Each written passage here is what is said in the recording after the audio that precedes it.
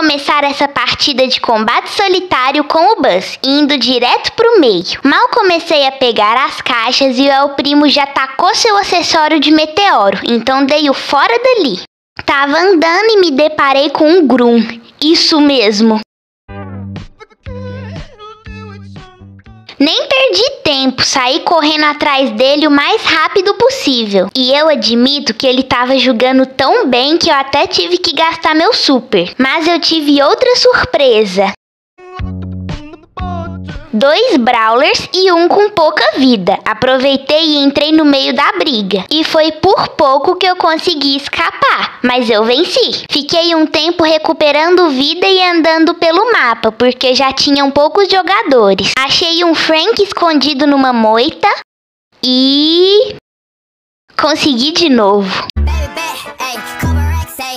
Finalmente deu combate, só tinha eu e mais um Brawler. E eu mal sabia que a gente tava bem mais perto que imaginava. Eu não ia aguentar ficar esperando e ataquei de uma vez, e por sorte consegui. E a próxima partida é um duelo, que eu já tinha perdido dois Brawlers e só tinha a Rosa para lutar. O El Primo já tava com super carregado e parece que eu não ia ter jeito de escapar. Mas aconteceu o que eu menos esperava. Eu consegui vencer com apenas um de vida. Nesse combate solitário, estava jogando com o Mortis, que demorou uma hora para pegar um cubo. Eu vi outra caixa e não ia perder a oportunidade, mas tinha um Dynamite atrapalhando tudo. Eu comecei a desviar das bombas dele e fiquei fazendo isso por um bom tempo.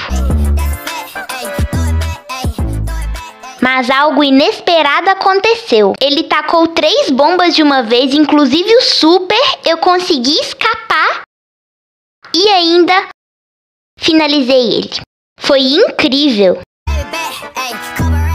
Só tinham mais três pessoas no mapa, então recuperei a saúde e fiquei procurando. Até que eu achei uma Penny bem distraída e dei um golpe nela. Deu combate e só tinha eu e uma Colette. Ela teletransportou, saiu correndo e parece que estava com bastante raiva. Fiquei esperando ela voltar e acabei gastando meu super à toa, o que me prejudicou bastante, que eu não sabia mais o que fazer. Ela começou a se aproximar.